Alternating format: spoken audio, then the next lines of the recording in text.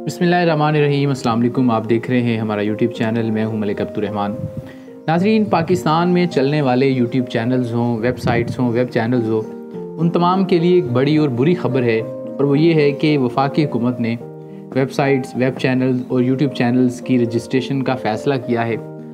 बाज़ाहर जो है, मुझे नहीं लगता अगर आप मेरी राय लें कि ऐसा कुछ भी पाकिस्तान में होने वाला है।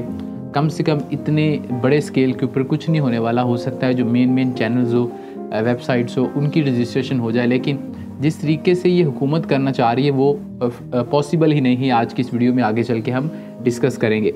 लेकिन अगर मुस्तबिल के अंदर ऐसा कुछ होता है तो आपको किन किन चीज़ों के बारे में एहतियात करने की ज़रूरत है और क्या आपका यूट्यूब करियर ख़तरे में है, इस बारे में बात करेंगे।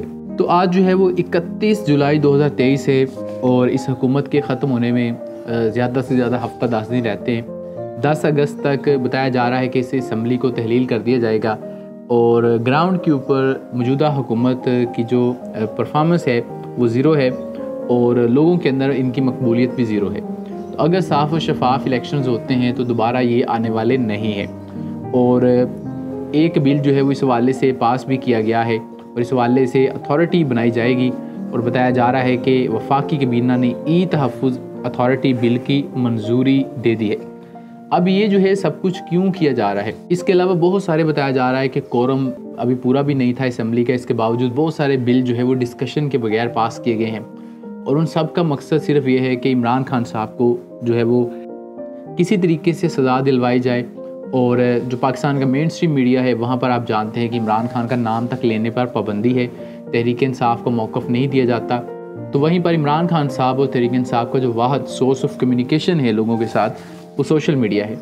तो इस तरह की अथॉरिटीज़ बनाकर और चैनल्स को रजिस्टर करने के शोशे छोड़कर, इनका मकसद सिर्फ़ इतना है कि इमरान खान का सोशल मीडिया भी बंद करवाया जाए और लोगों तक उसका जो पैगाम है वो ना पहुँचे। क्योंकि आप उसको जलसा जुलूस नहीं करने देंगे, आप उसको टेलीविज़न पे नहीं दिखाएँगे तो वो सोशल मीडिया पे टिकटॉक पे एक वीडियो पोस्ट कर देगा और लोगों तक पहुंचाएगी।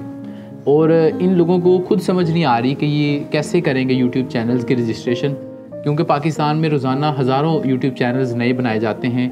क्या उनको ऑनलाइन रजिस्टर करने का ये कुछ प्रोसेस करेंगे? क्या होगा? कुछ भी नहीं पता, क्योंकि इस तरीके का कुछ भी पूरी दुनिया में आज तक हुआ ही नहीं है कि अगर किसी ने यूट्यूब के ऊपर चैनल भी बनाना है तो हुकूमत से पूछ कर बनाया जाएगा। हुकूमत तो कभी भी अलाउ नहीं करेगी, क्योंकि सोशल मीडिया जो है वो 90 परसेंट इमरान खान का हामी है। और ये सिर्फ़ सोशल मीडिया पर उन लोगों को, उन लोगों की आवाज़ बंद करवाना चाहते हैं जो कि इमरान खान के हक़ में बोलते हैं। तो बगैर किसी वजह के अगर ये कोई रजिस्ट्रेशन का प्रोसेस करेंगे तो ये कभी भी उनको रजिस्टर नहीं करेंगे। ना ही उनको जो है वो ये लाइसेंस देंगे।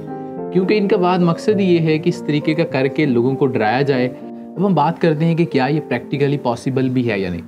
तो आपको ज़रा समझने की ज़रूरत है कि ये जो यूट्यूब है, ये कोई पाकिस्तानी कंपनी नहीं है, ये एक अमेरिकन कंपनी है।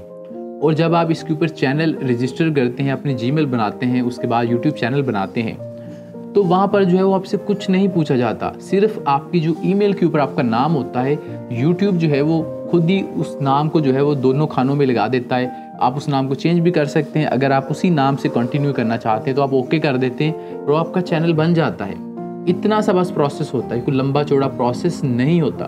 चैनल्स बनाने के बाद जो लंबा चौड़ा प्रोसेस होता है, वो ये होता है कि आपने एडसन का अकाउंट बनाना होता है, उसके ऊपर अपना एड्रेस वगैरह, अपने बैंक अकाउंट सब कुछ दे रहा होता है। लेकिन ये जो हुकूमत करने की कोशिश कर रही है, ये प्रैक्टिकली पॉसिबल इस वजह से नहीं है कि अगर जो है ये हुकूमत ये सब कुछ करती है तो इसका मतलब ये है कि जब कोई चैनल बनाएगा तो उसके ऊपर जो है वो बाकायदा तौर पर उससे यूट्यूब ये मांगेगा कि आपने जो है वो अपनी हुकूमत पाकिस्तान से जो चैनल रजिस्टर करवा कर जो लाइसेंस लिया है उसका जो रजिस्ट्रेशन नंबर है, वो आप यहाँ पर पुट करें। अगर तो यूट्यूब ऐसा करता है तो फिर तो हम कह सकते हैं कि जी, हुकूमत पाकिस्तान ये सब कुछ कर लेगी। वरना ये पॉसिबल ही नहीं है। उसके बाद आ जाती है अगली बात कि हुकूमत पाकिस्तान जो है वो फिर क्या करेगी? तो वही करेगी जो आजकल कर रही है, लोग को डराया जाएगा, धमकाया जाएगा। और जो है, अगर आप ये समझ रहे हैं कि अगर किसी ने लाहौर में बैठ कर रावलपिंडी में कहीं भी बैठ कर एक चैनल बनाया है तो हुकूमत उसके घर पहुँच जाएगी, ज़रूर पहुँचेगी। अगर इनके पास जो है वो इतने सोर्सेज हैं और ये लोगों को ट्रैक कर सकते हैं। मेरे ख्याल में हर मिनट में शायद पाकिस्तान में कई चैनल्स बन रहे होते हैं तो ये सबको ट्रैक नहीं कर सकते। एंड के ऊपर ये मामला आ जाएगा सिर्फ़ पॉलिटिकल चैनल्स के हवाले से।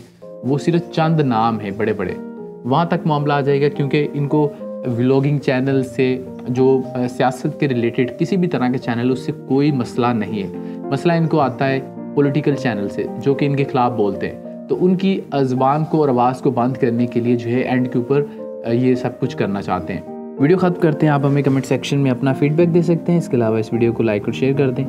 और अगर आपने अभी तक इस चैनल को सब्सक्राइब नहीं किया तो चैनल को सब्सक्राइब कर दें और बेलाइकन को क्लिक कर दें। मिलते हैं आपसे अगली वीडियो में। मुझे इजाज़त दीजिए। अल्लाह हाफिज़।